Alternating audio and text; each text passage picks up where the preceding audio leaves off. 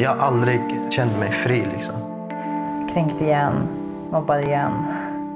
Man saknar ju liksom sitt barndom. Alltså det blir aldrig likadant. Någon sorts överlevnadsinstinkt som sa att det var bättre att försöka sudda ut sig själv. Men jag kan inte göra det för då kommer jag att dö. Jag flydde. Just nu, mitt hemland under krig. Välkommen till verkligheten. Så är det. Det är klart att man väljer att överleva än att dö. Och det här är